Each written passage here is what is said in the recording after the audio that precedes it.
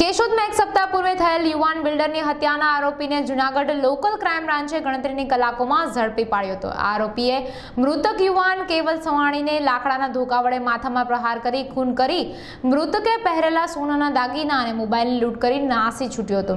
આ આરોપી મોહબ્બતસિંહ હનુભાઈ સિસોદિયા પકડાયાની વિગતો મળતા કેશોદ પોલીસ સ્ટેશને લોકોના ટોળા ઉમટી પડ્યા હતા. એને હત્યા માટેનો પ્લાન કેવલને ખૂન કરી અને જે એને દેણું છે જુગારને ને સટ્ટા રમવાનો આરોપી શોખીન છે એટલે એ દેણું ચૂકતું કરવા હતું. આરોપીએ કેવલ ચવાણીની હત્યા કરેલ પણ એવું જાણવા મળ્યું હતું કે ચન ચેન અને એ લૂંટાઈ થઈ લૂંટશે એ લોકો. જી હા ચેન આઠ તોલાનો ચેન છે અને આઠે આંગળાની લીટી હતી. ટોટલ સોળ તોલા સોનું હતું ચાર લાખ કિંમતનું સોનાની હતી એ કંઈ કબજે કરવામાં આવ્યું છે કે જી એક લીટી ગયેલી છે કબજે. પોલીસે અને બે મોબાઈલ ફોન આરોપી આગળથી કબજે કર્યા છે. સર મુદ્દામાલ તરીકે કંઈક કબજે કીધું છે?